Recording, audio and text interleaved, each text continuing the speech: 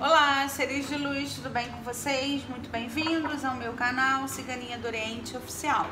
Se inscreva, ative o sininho e deixe seu like, tá bom?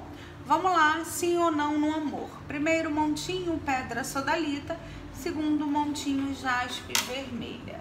Vamos ver aqui, vou tirar três cartas. Sim ou não no amor. Sim, tem muita transformação acontecendo e algo mudando aqui para vocês. Tão importante quanto conhecer a teoria é colocá-la em prática.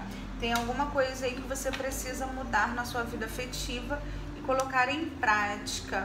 Aqui também é um sim, me responde algo bem positivo no jaspe vermelho.